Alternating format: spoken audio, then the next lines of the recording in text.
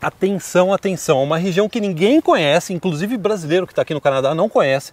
Eles estão precisando de trabalhadores, a gente vai falar sobre dados que saiu na mídia canadense e o mais importante, eles estão querendo criar o próprio programa de imigração para selecionar imigrantes. É uma região mais bonita do Canadá. Sim. Fica na província mais bonita do Canadá, que é British Columbia, que fica na costa do Pacífico é uma região que eles precisam de trabalhadores, só que ninguém sabe que a região existe. Você sabe que essa região existe? Eu Caio? sei porque no momento que você está assistindo esse vídeo, no momento que esse vídeo foi publicado, eu estou lá.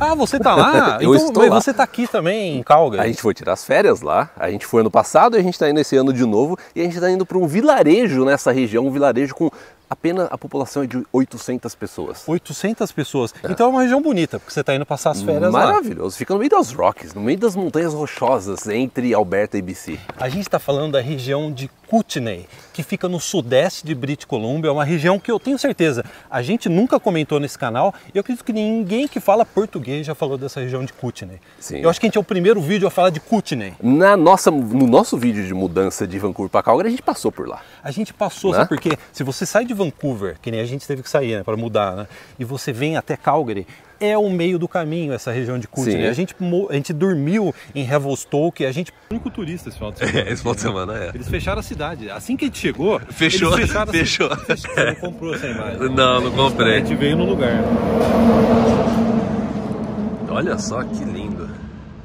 A gente vai parar na próxima em Golden. Daqui quanto tempo? Bastante? Ah, mais duas horas. Ah, sim. Golden, daí a gente vai pegar aquele desvio da estrada. Colocou gasolina em Golden, que é outra cidade sim. de Kootenay, né? Ou seja, é uma, cidade, é uma região que é passagem. É uma região que tem muitos recursos naturais tem, é. tem trem. É ponto estratégico, é né? Ponto estratégico. É ponto estratégico. Eu até estava conversando com você, Guilherme, né, antes da gente gravar esse vídeo. Porque tem cidade que às vezes você vê, às vezes nos Estados Unidos você vê vídeos, né? Ou até aqui no Canadá, você vê a cidade fantasma. É uma cidade que foi criada numa época de determinada mineração, tudo, e depois a cidade deixou de existir. Morre, a cidade morre. Ah, né?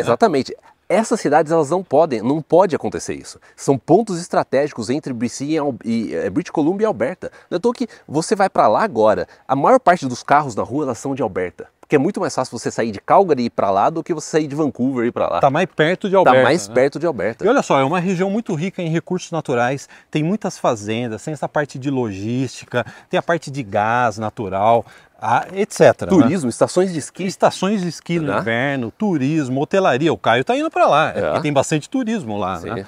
E olha só, é a região de Kootenay acho que é a primeira vez que alguém ouve falar da região de Kootenay. A região de Kootenay, ela tem 200 mil habitantes se você soma todas as cidades. São diversas cidades, é uma região muito grande, é uma região que é maior que muito estado no Brasil. É. E é uma das regiões mais bonitas do Canadá, porque fica assim, no pé, dá para dizer que fica no pé das montanhas rochosas? Era o que faltava. Deixa eu, vamos aqui para lateral.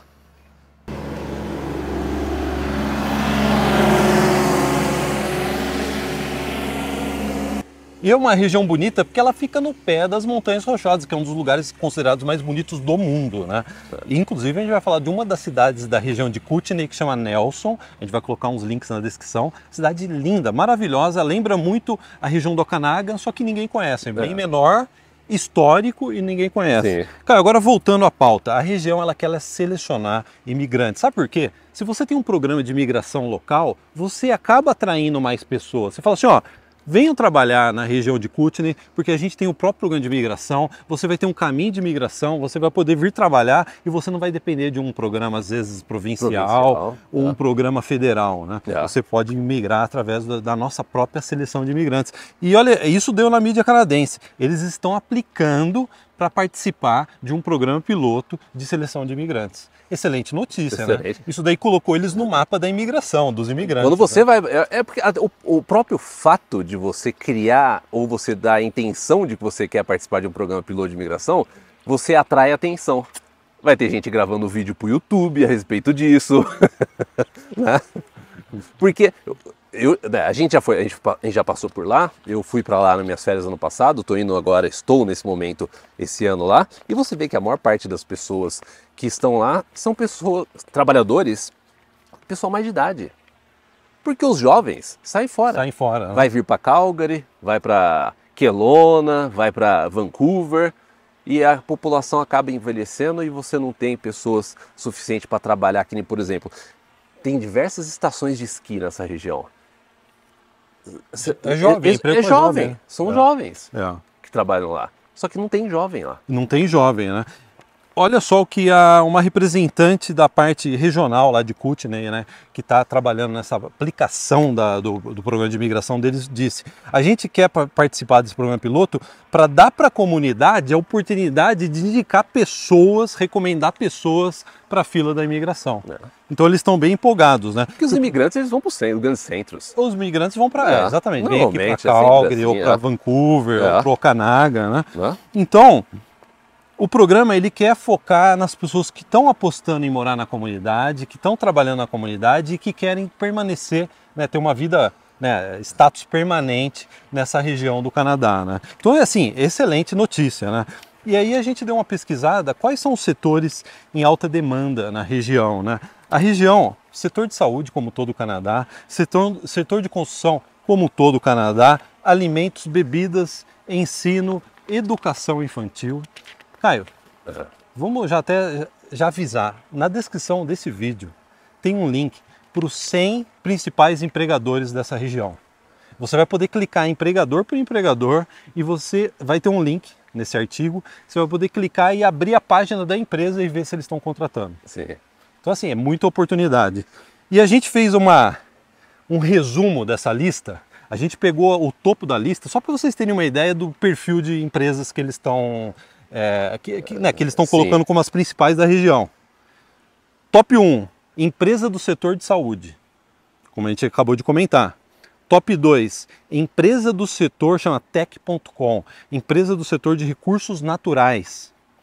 3, setor público, aí você tem setor de energia, aquilo que a gente estava comentando. O Canadá é muito rico aqui em Alberta, Columbia, eles são muito ricos, o solo é muito rico em energia, em instalação de redes elétricas, de gás, É. etc. né? Tem a parte de cuidador, de idoso e de criança, Está em demanda no Canadá inteiro. principalmente nessa região que a, a faixa etária dessa região É. ela é maior do que a média do Canadá, né? Como o Caio disse, né? Os jovens É. vazam e os pais acabam ficando, né? É. a parte de educação e como o Caio também já comentou, essa parte de hotelaria, estação de esqui, cassino, tem cassino, muito cassino na região, né, porque é turístico, né? Então eles também tá entre os principais empregadores, né? Agora, eu, eu posso passar uma curiosidade? Ah, ano passado, quando a gente foi para lá, no primeiro dia de, de férias, a minha filha ela caiu na piscina e ela abriu o cotovelo. E a gente teve que ir no hospital lá. Só a gente no hospital. Só tinha, outro, um- tinha uma outra menina que estava surfando no lago e bateu a cabeça na pedra e abriu aqui. Ela estava lá também. Tudo relacionado a, a turista. Todos médicos, enfermeiros, tudo super jovem. Você vê que são aquelas pessoas que, para pegar experiência, eles vão para essas regiões, porque os médicos mesmo, que já têm uma carreira, eles não ficam lá. Não fica. é Ele vai estar verdade. trabalhando em Calgary, em BC, em Kelowna, e lá você vê assim, enfermeiro e médico, tudo super jovem. É impressionante. E você aprende a dar ponto em pessoal que está nadando lá. né? Exato. Porque eu acho que a metade das ocorrências estão relacionadas a pulo errado em piscina. né? Total. Ou escorregou, né? Eu já abri o queixo quando era É. criança. Eu, deu cinco Eu também, na mesma piscina. Na aulinha de natação. Eu escorreguei também e bati com o queixo. É, eu também.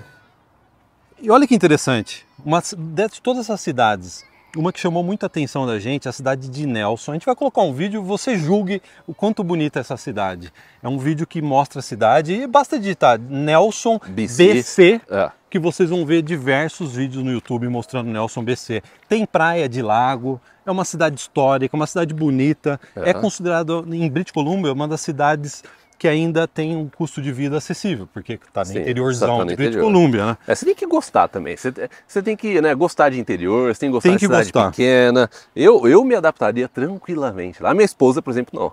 Você se adaptaria até na Antártida, né, cara? Você não acha que até na Antártida, numa sessão de científica, você fica, moraria por um tempo? Eu moraria. Ah, eu moraria, Pra sim. ver como que é Sim. o verão na Antártida. Eu, eu, eu curiosidade de saber como que se o verão bomba na Antártida, né? Caio, agora voltando, né? A gente tá falando do Nelson, né? Nelson em BC. A cidade tem um jornal que chama Nelson Star, Estrela de Nelson, vamos traduzir assim, né? É. E saiu um artigo agora em maio de 2024 falando do que a região de Kootenay precisa repor 1.300 trabalhadores por ano, porque o pessoal se aposenta. Isso que dá uma média de 22, eles vão precisar nos próximos 10 anos de 22 mil novos trabalhadores. A gente está falando de uma região que tem 200 mil habitantes. É. E eles vão precisar nos próximos 10 anos de 22 mil novos trabalhadores, porque o pessoal, Aposentadoria é idade avançada, É. aposentadoria chegando e ninguém conhece ou ninguém quer ir para esse interior. E são, Canadá. e são lugares maravilhosos, né? Eu acho que você vive mais só de morar lá.